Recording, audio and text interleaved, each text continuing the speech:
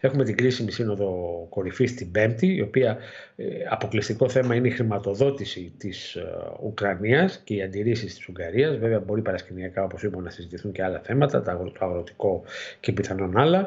Φαίνεται να εξελίσσεται σε ένα θρίλερ το αν θα συμφωνήσει ή όχι η Ουγγαρία να άρει το βέτο της στη χρηματοδότηση της ε, Ουκρανίας.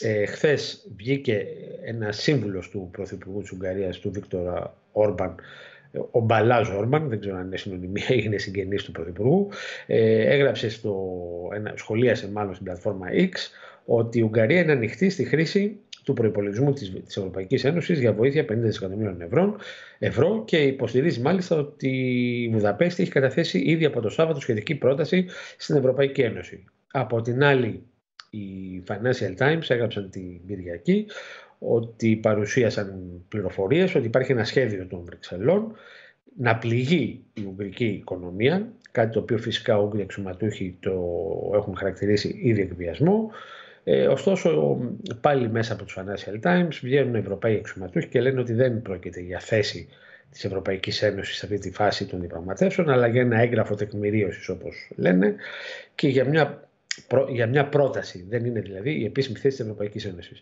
Μένει να δούμε λοιπόν αν την Πέμπτη θα ξεπεραστεί αυτή ο πολύ σημαντικός κόπελος, δεν είναι μόνο αν θα πάρει η Ουκρανία τη χρηματοδότηση, αλλά αν θα υπάρξει επιτέλους κοινό μέτωπο, αν θα συμφωνήσουν δηλαδή οι Ευρωπαίοι στην κοινή αυτή στάση, ή η Ουγγαρία θα εξακολουθεί να βάζει εμπόδια, δυναμητίζοντας ευρύτερα, θα λέγαμε, την, ε, την ευρωπαϊκή ομοφωνία, την ε, ευρωπαϊκή πολιτική αλληλεγγύης απέναντι στην Ουκρανία. Μάλιστα.